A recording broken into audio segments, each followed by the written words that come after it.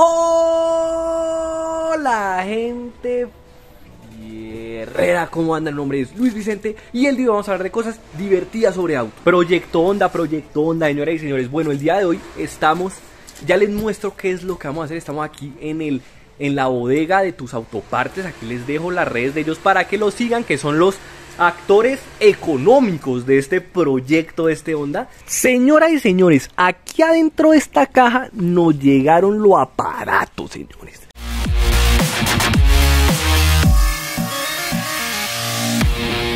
Señores, eh, tenemos aquí eh, un bello y hermoso alerón spoiler de Honda Integra 94 para colocarle al CRX. Ya les muestro.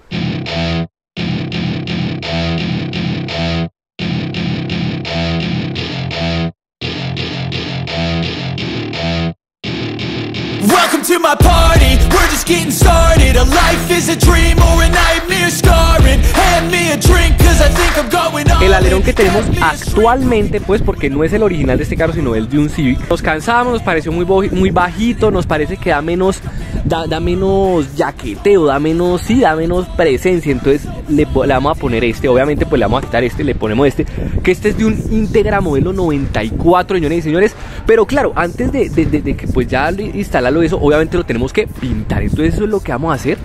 Y aquí pues les iré diciendo los costos y eso. Obviamente eso va a ser otra modificación que va a hacer ver a un carro antiguo, modelo 93, lo va a hacer ver hermoso, precioso, sublime.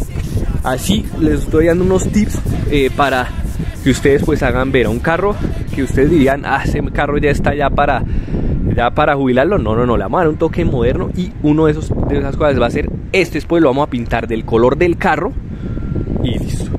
Eso es lo que vamos a hacer. Bueno, aquí estamos ahí con el duro de tus autopartes. Entonces el parcero Miguel nos va a decir cómo es que vamos a instalar esto.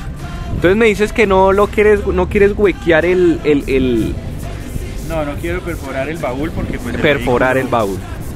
Es puede llegar a ser clásico y si lo perforo pues lo daño, no se consiguen piezas como estas hoy día en el mercado. Ok, claro, obvio. Asimismo, por eso este spoiler había sido puesto inicialmente eh, con silicona, una Sikaflex 221 que es de alta adherencia y de alta rigidez. Como Sikaflex 221, no, esa vaina no la, no la saca nadie de ahí.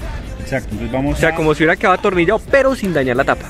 Lo primero que hace Miguel de tus autopartes es, bueno, elevar el baúl automático que tiene este carro y con una especie de bisturí empezamos a romper el Sikaflex eh, poco a poco, pues para quitarle las bases al spoiler y pues poderlo sacar sin dañar la pintura.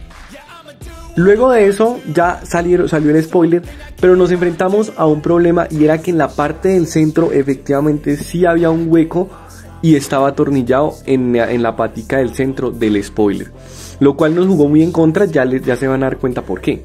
El problema fue que el baúl efectivamente la tapa del baúl quedó perforada, entonces sí tocaba y obviamente el, el, spoiler nuevo solamente tiene dos bases, no tres bases, así que le quedaba el hueco ahí y pues tocaba mandar a pintar el, el, el alerón y tapar ahora esos huecos.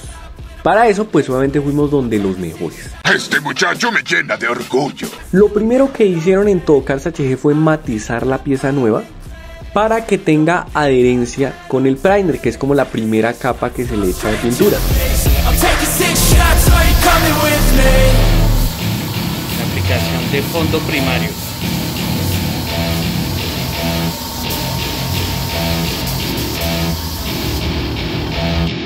Una vez ya terminado el fondo del spoiler, la pintura, se lija con lija 800 para matizarlo nuevamente y ahí ya queda listo ya para empezar a aplicar la pintura roja. Ahora se procede a empezar a aplicar el rojo, luego ya queda pintado el, alerón, el spoiler y finalmente para darle brillo se le aplica el barniz.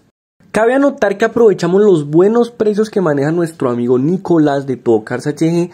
Mandamos a pintar el techo que tenía también unas, unos, como una pintura un poquito salteada en el techo, entonces se le, también se le hizo eso y pues se hizo un proceso bastante similar.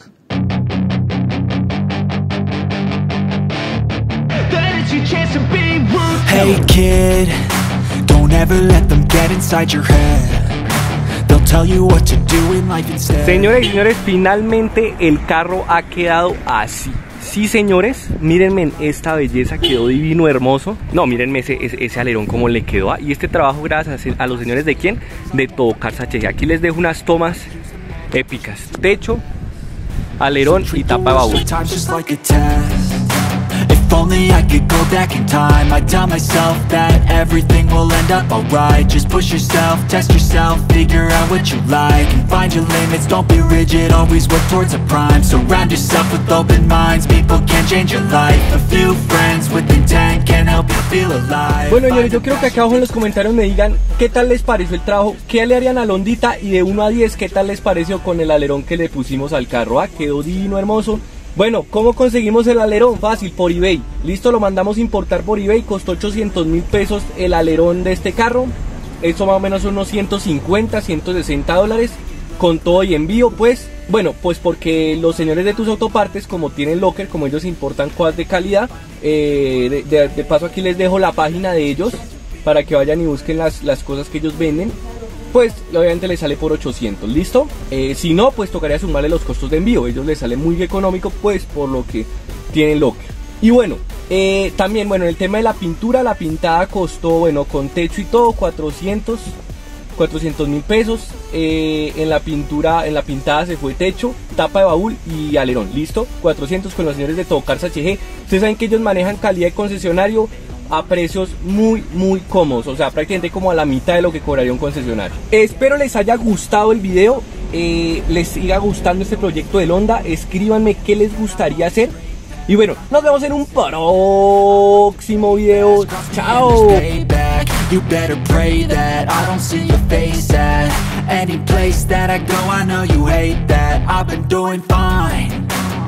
I'm not wasting any more time.